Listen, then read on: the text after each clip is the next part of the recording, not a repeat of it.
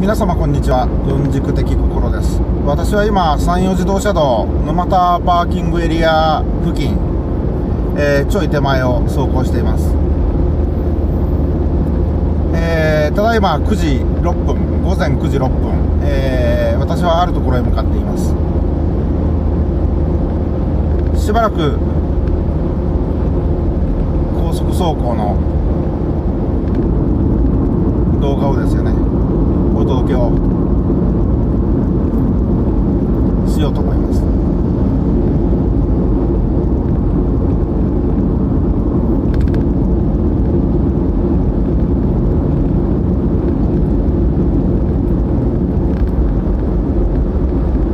そうですね。この先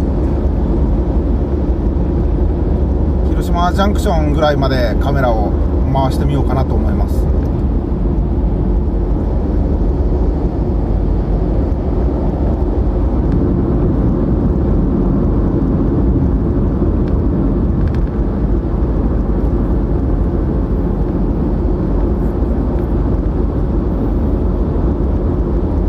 えーっとこの区間ですね、えーおそらく今日の天気だとそしてこの時間だと、えー時速制限は100キロに設定されてるとされてますね。はい。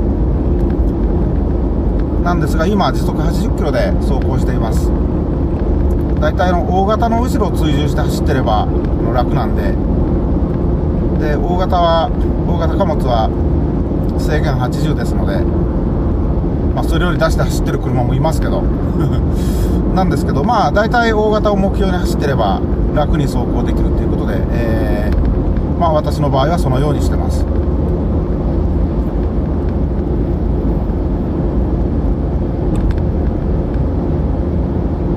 昔あの 2000cc クラスの車に乗ってた時っていうのはまあ出してましたよ。スピード。80とかで走ってる車とか、まあ、トラックとか遅いななんて思ってたんですけどまああの長距離通勤をするようになりましてねあんまりそんなもんは関係ないなっていう のに気づいたんで、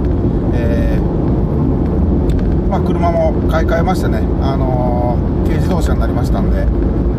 でも軽もねあの80ぐらいで走ってる方があの安定して運転しやすいですよ。100キロぐらいで走るより、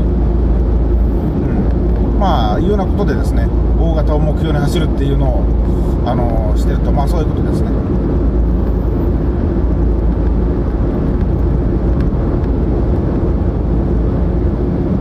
で、えーあとわずかもう少しで五日市インターになりますね。えー運転免許センターですね。あと試験場。ここら辺はもうこの五日市インターで降りた方が早い早いっていうか、まあ、最寄りっていうことになるんで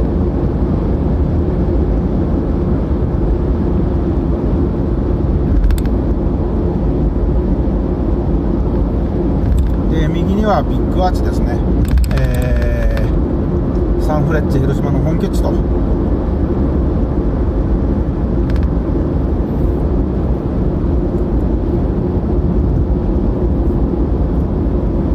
この間あの仕事でちょっとまあ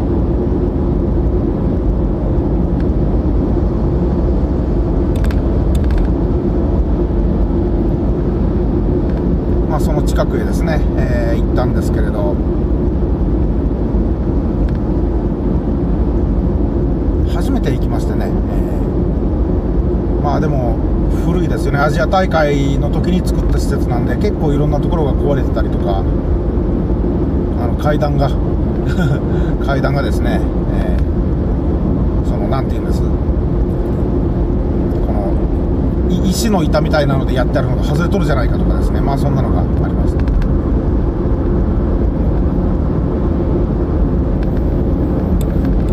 早いですね。4分ぐらいで来るんですね。沼田パーキングからここら辺まで。そんな意識したことはなかったんですけど。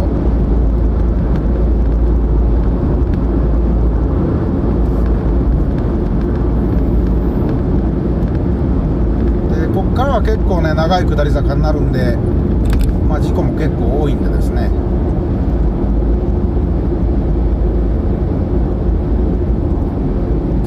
な何も考えず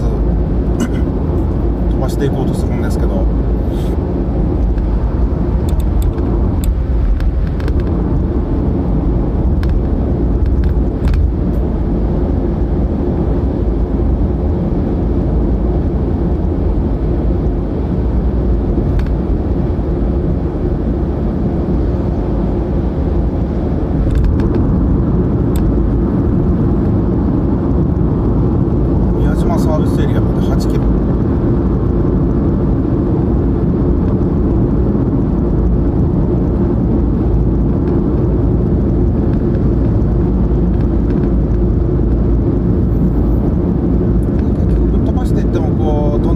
って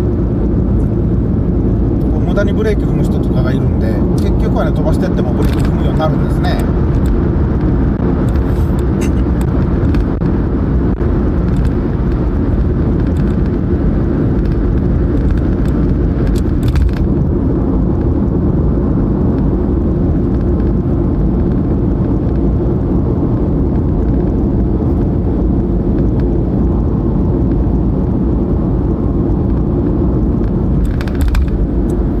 そして山の方もあれですね新緑が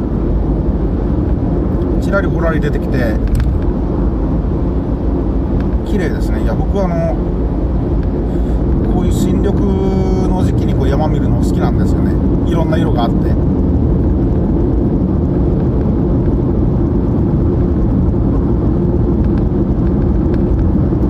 ーカメラを回回し始めてから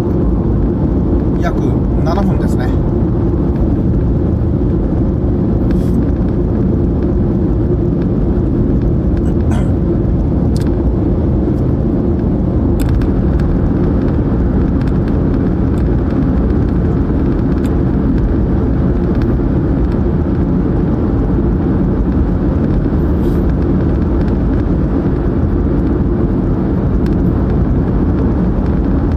今日は実際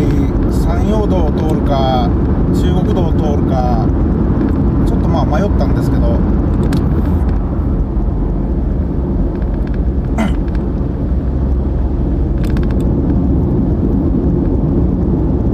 山陽道しかない時はあ山陽道じゃないね。中国道しかない時は中国道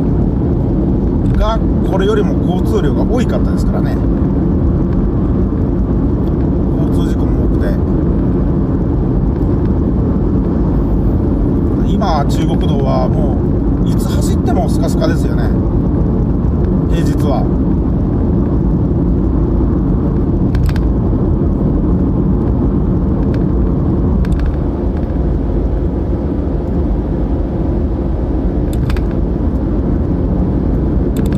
この間もあの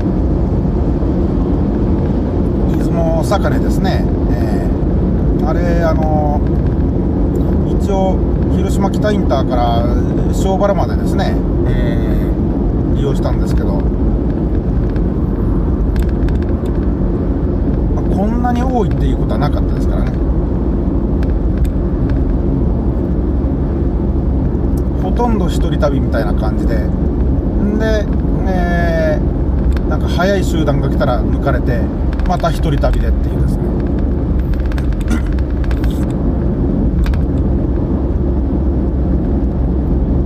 だから全然そのなんていうんです感覚が違うっていうか。